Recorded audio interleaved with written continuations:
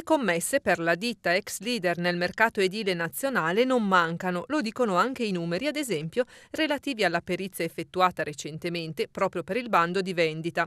Per lo stabilimento Valmontana di Monticelli, per il periodo 2015-2017, è previsto un fatturato di oltre 2 milioni di euro.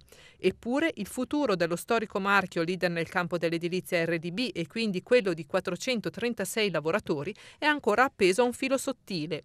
Scade domani, infatti, alle ore 11.30 la possibilità di depositare l'offerta di acquisto per la ditta. È infatti stato pubblicato un bando lampo per la vendita del complesso perché sembra che ci siano compratori interessati.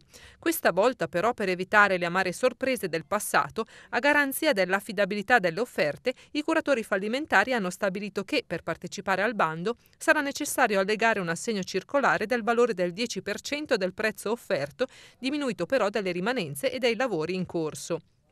Inoltre, il prezzo proposto dagli acquirenti non potrà essere inferiore a 3 milioni e 788 mila euro, valore stimato da un'apposita società che vede però esclusi gli oneri di bonifica e l'importo relativo ai beni materiali nella sede piacentina di Pontenure.